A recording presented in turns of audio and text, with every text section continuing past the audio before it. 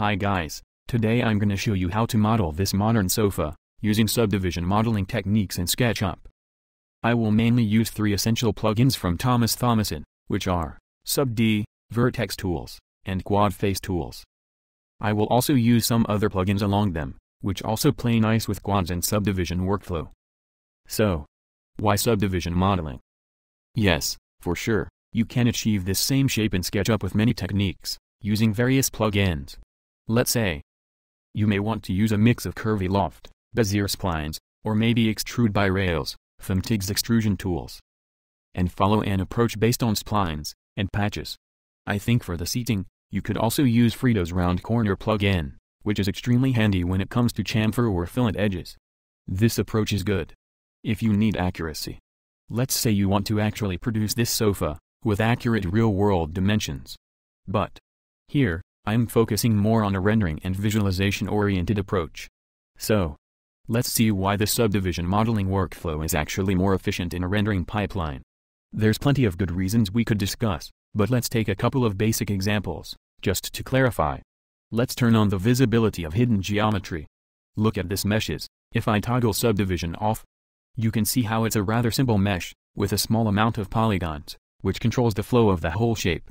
So, you see, I can increase and decrease subdivisions, which is very useful in rendering because you can adapt the resolution of the polygons to the needs of your actual view.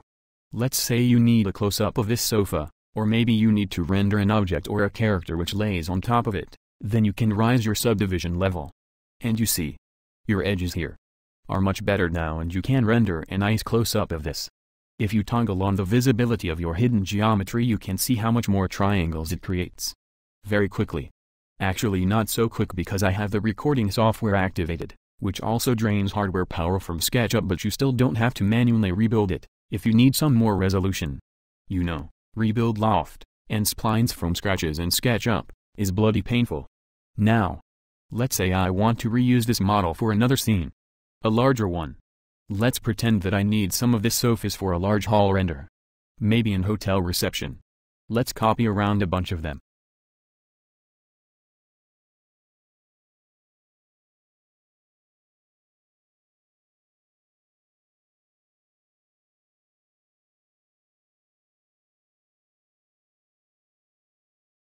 You see.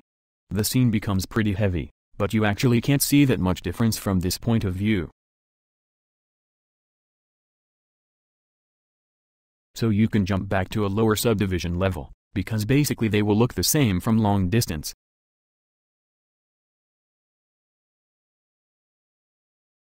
But they will render faster because your render engine have to load a lot less triangles, as you can see here. Okay, let me erase this.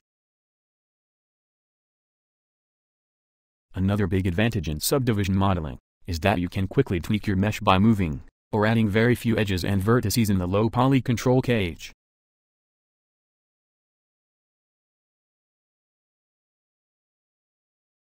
Let's toggle sub-D off for a while. Now, edit the control mesh a bit.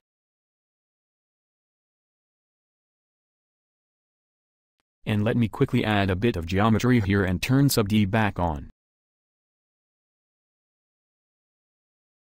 As you can see, small edits on the low poly control cage produce great impact on the complex smoothed mesh.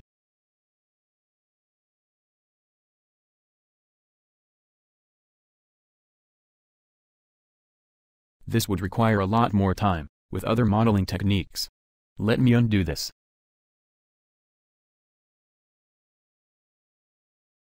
Another very important thing you can see, if you edit one of these meshes and activate this quad face tool select tool, is that the whole mesh is composed out of a grid of quads, which is best for almost everything.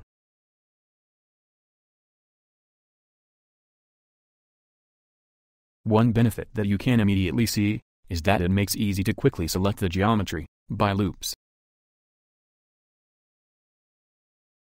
Or by rings. But we will cover this in detail further. There's plenty of resources on the web about the benefit of quad modeling and good topology, so if you search further about this, you will learn that quad meshes are more predictable, and produce clean smoothing, are easier to UV map or to unwrap. Quads are better for displacement. For 3D sculpting, such as ZBrush or Mudbox. You know. For deformation, mesh animation and so on. In fact many other modeling software such as 3ds Max, Maya, Cinema 4D, Lightwave, Blender, ZBrush, just to name a few, are more quad modeling oriented. On this matter QuadFace Tools also provides SketchUp with an OBJ exporter and importer, which preserves quads, so you can efficiently fit and collaborate into an high-end rendering or animation workflow, in which these other quad-based modeling software are pretty much the standard. But let's get back to our sofa. So, I will still show you how to use some of the classic techniques I listed before, such as splines, and maybe some loft, but we will keep things as much low poly as possible, to create a quite simple cage.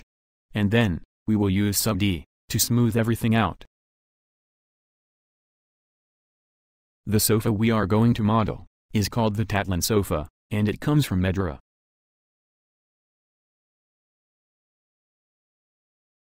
So I googled it, to find some reference images. And I found some photos, and a couple of simple 2D drafts of it.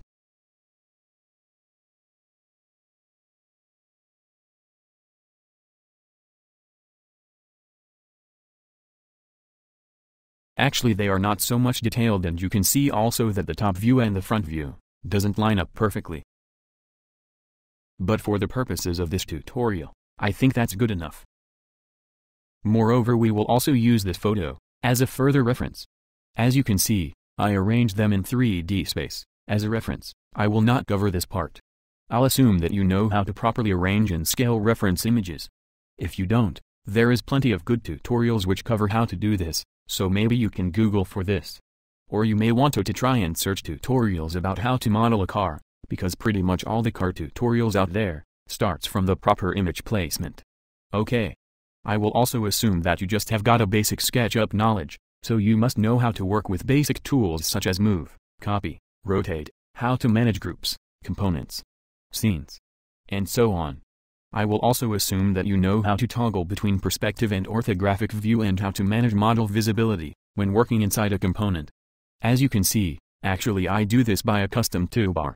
Now, I see that this can be a bit confusing for beginners, because I use a couple of plugins to build custom toolbar. One of this, actually contains a few of this useful extra button, to toggle perspective, components visibility, hidden geometry, and more.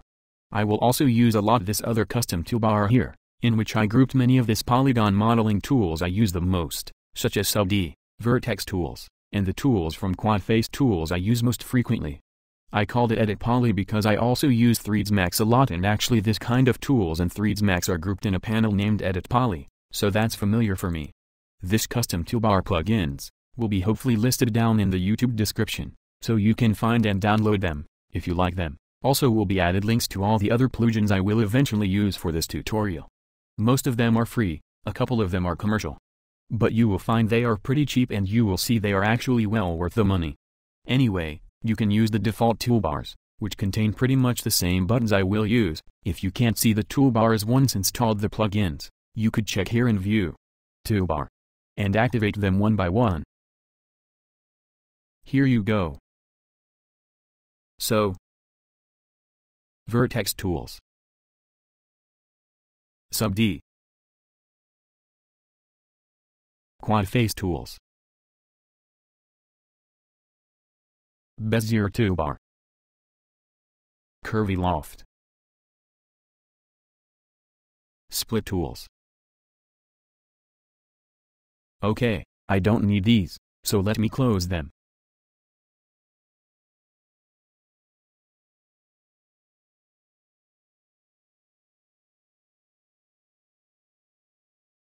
I could probably use another couple of plugins. One to weld segments into one curve?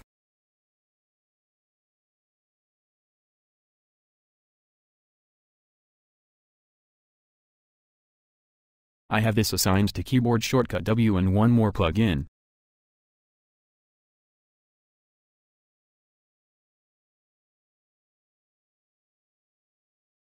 to generate a face from a closed set of coplanar edges. I have this assigned to the shortcut Ctrl plus F, so I don't need to redraw an edge, to create a face. Both for weld and create face, there are a lot of plugins which do this sort of things. Sort of duplicates. So you can pick the ones you actually like the most. Okay, I think that's all you need to know before following the actual short series of modeling tutorial about this sofa, so we can take this model to the side, as a further reference.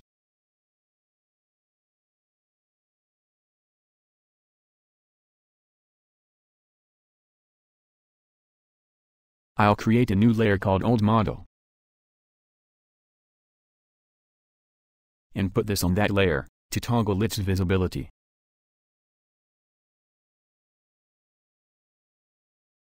So, in the next parts of this tutorial, we will see how to create this from scratch. Thank you for watching.